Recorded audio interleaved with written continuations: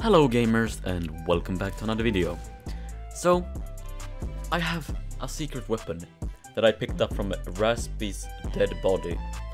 It's the Juan Deagle, well, the Juan, uh, the Golden Deagle, basically. I'm not sure, I think it, I'm not sure if it one it kills all ranges to anything, but like, it's cool. I think it's just a reskin eagle, if I'm gonna be honest. It has a different name though, it's called Juan, and it literally it is carved on the side of the gun. It's literally called Juan.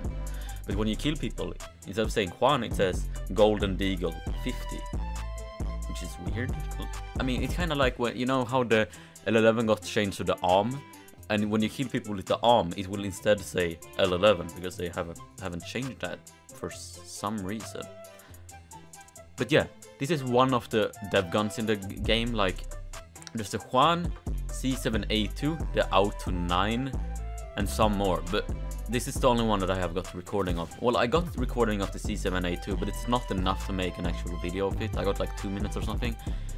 And if I'm gonna be honest, I need like at least 10 minutes of actually recording. Because two minutes of C C eh, C7A2 recording isn't enough. Basically.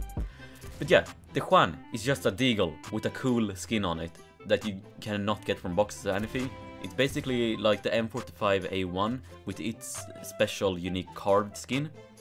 And yeah, it's quirky and it's unique. I don't have much to say about it other than it's a cool gun. I had to make this video because I not, didn't have anything else to make because I, I didn't have a lot of time, I'm sorry. But yeah, the Juan. Um, thank you guys for watching the video. If you enjoyed it, press the like button. If you didn't enjoy it, still press the like button. If you really enjoyed it, press the like button and and the subscribe button.